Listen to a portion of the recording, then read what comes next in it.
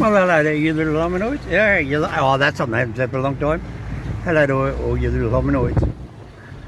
Here we go, down in the main street St Mary's. This is the difference now with the COVID being lifted. Yes. Oh, big storm come through. And here we are down here. We've got the car park doing up. And they're doing and they're starting doing work. I don't know what they're doing, but they've got machinery and they've got all the garbage crap. And we've got Joe Bloggs on his uh, scooter coming. So if you're interested in St Mary's, he's doing his slow exercise. You notice too, he did not have a face mask on. See, you don't have to wear a face mask now during the day outside. You only need to wear it when you're in a taxi or when you're inside the shop. Yes, and this is, this is there's more people around now. This is uh, five o'clock on a Thursday, and for all you alcoholics around the around the world, you're not going to believe this. The pubs are open. Look at that. Look, look, look, look, look, look. Pubs are open. Yes, they're open.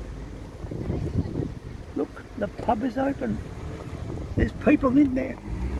People are in there drinking. Oh, pub hasn't been open here in Australia for about six months. People walking up there. See, we had a great big rainstorm.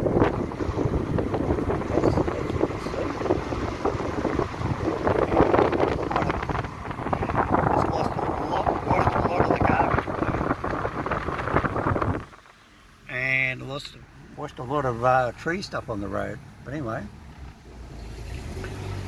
squeezing our little parking spot here. Is this guy going to... Good, we'll scare him off. We'll grab that parking spot. We're down here at Coles and St Mary's. Oh, on you, mate. Yeah, thanks for letting me park. He just drove right past me. Good on you, buddy. You're supposed to sit back and let the guy reverse him park. CVG 93 whatever. Good on him. Arrogant bastard. Anyway, look at the block of flats up there now, people. If you looked at my channel, go down a couple of months ago, during the COVID lockdown, that was a, a dirt, pile of dirt, and they're knocking down the old house was about three months ago. Look at that, big block of units going up in Phillip Street on the corner of Left Bridge. L-E-T-R-I-D-G-E, Lethbridge, Left Ridge Street or Lethbridge Street, Philip, Anyway, this is Philip. So that's it down here from Mr. Hominoid. Big storm's gone, blue skies are back out again. Mr. Dog sitting at home watching television with all the housemates and um,